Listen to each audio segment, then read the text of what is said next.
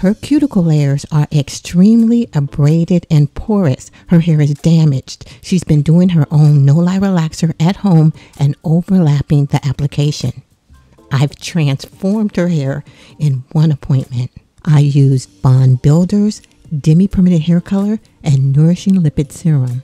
I used water and heat to temporarily change the texture of her hair. I used the twist out technique for a wavy curly finish. Let's look inside the hair to see what's happening with the bonds. Now, I'm going to let you know exactly what these hydrogen bonds are. Who knew there were so many cuticle layers? I didn't know there are so many cuticle layers, but we're here to talk about the uh, hydrogen bonds. And the hydrogen bonds, they're temporary. They're there to allow us to manipulate the hair shape. So, uh, water or heat will change and break the hydrogen bonds. So, what we're doing with any shampoo set, whether it's roller set, uh, magnetic roller set, perm rod roller set, flexi rod roller set, twist out, braid out. What the process is, is breaking the hydrogen bonds and resetting them into the new style shape. I started this hair transformation with a demi permanent hair color. She's up to 80% gray and I added bond builders to the demi permanent hair color formula. The demi permanent hair color is going to affect the white hairs differently than the pigmented hairs and it's going to appear as though her hair has baby lights, as though it's highlighted.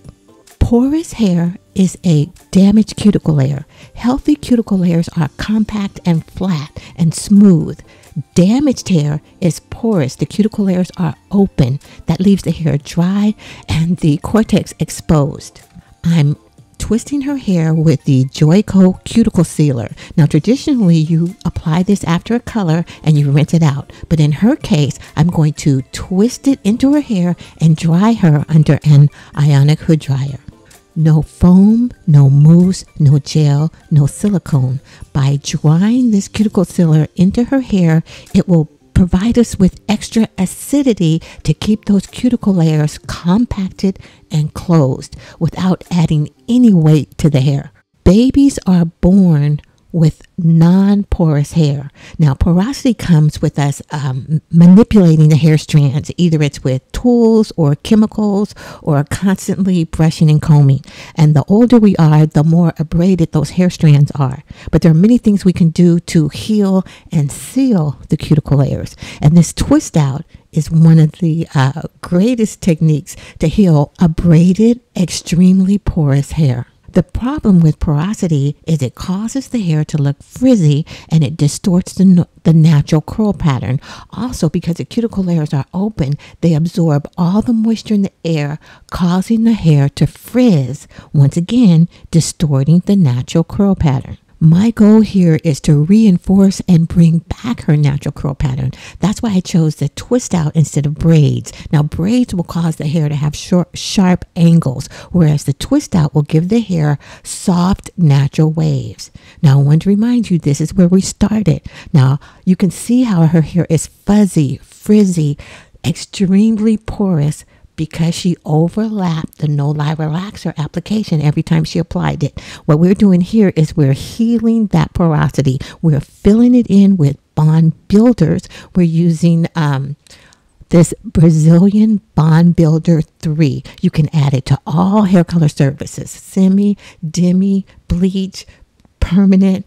I add it to the final formula of all my demis and toners. I wrap the ends of the hair on large perm rods. I don't use end papers. End papers slow down the drying process and they absorb the product that I want to stay on the hair.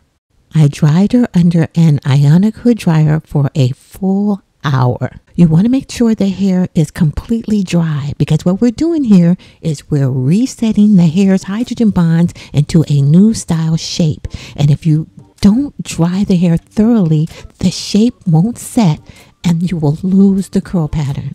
No matter what the end product is, when you use water and heat to change the shape of the hair strand, what you're doing is you're resetting the hydrogen bonds. You're resetting the hair into a new style shape. And you need to let that whole process finish. So the hair has to be absolutely dry. If it's not dry, no matter what the end product is, if you're doing a silk press, a blowout, a twist out, if the hair doesn't dry thoroughly, it's going to frizz as soon as any moisture in the air hits it. By contrast, if the hair is completely dry and reset, what happens when moisture hits it, it immediately reverts back to the state it was dried in. I'm going to say that one more time. If the hair is dried thoroughly, when moisture hits it, it's going to revert to the state that it was dried in. That's the twist out, the, the blowout, the silk press, Look how fantastic her hair is. To maintain it, she's going to sleep in a bonnet and she's going to use our Nourishing Lipid Serum to uh, finger comb her hair throughout the week. And if at any time, if she sleeps funny and it kind of uh, stretches out, all she has to do is retwist it and it will, it will reset into the state it was dried in. Look at that, those coils. Look how silky and shiny her hair is. Remember, this is what she looked at. Looked like when she came in, it was super porous, super damaged. The cuticle layer was abraded. It would not hold the curl. It was full of gray hair. And this is the end. We have transformed her hair texture with a little heat, a little water, and some acidic hair products. Our curl pattern is determined by the size and shape of the hair follicle and the arrangement of the disulfide bonds. A damaged cuticle layer, a porous cuticle layer, will distort our natural curl pattern and make it seem as though it's not even there. But we know it's there. It's permanent. Our curl pattern is always there. What we have to do is heal, nourish, and seal the cuticle layer so our natural curl pattern will be revealed.